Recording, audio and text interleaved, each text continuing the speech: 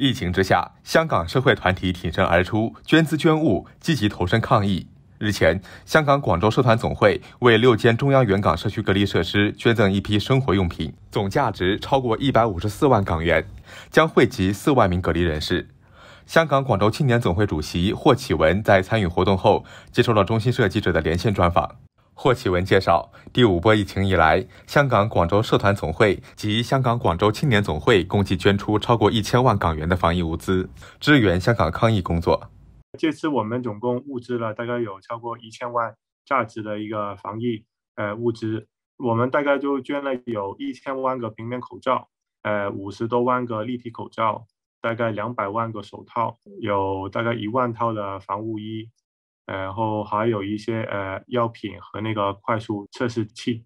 然后这次我们就发到给八十个慈善机构，通过区议员再派发给那些基层的老百姓，感到比较温暖吧。除捐赠防疫物资外，霍启文介绍，在父亲霍振环的提议下，霍家还捐助香港大学推进众志成城疫情监察计划，通过收集香港小区的实时数据，协助评估及监察香港的疫情传播情况。我们捐了一千万给香港大学，我们希望可以做一个第三方的话，去检测现在疫情的一个真实情况。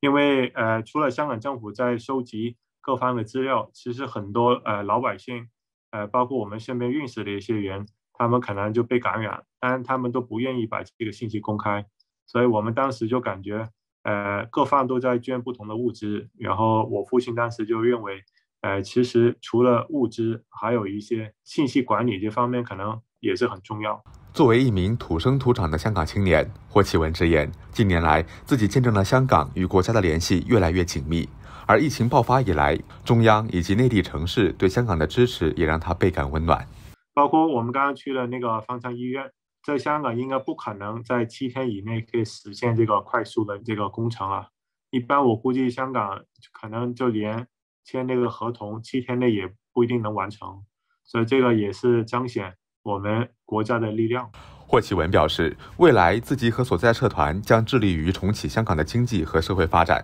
为受疫情影响的基层市民提供切实帮助。过去这三年，香港很多老百姓都受到很大的影响，还是要解决他们整体的收入，还有他们那个成本的一个呃开支。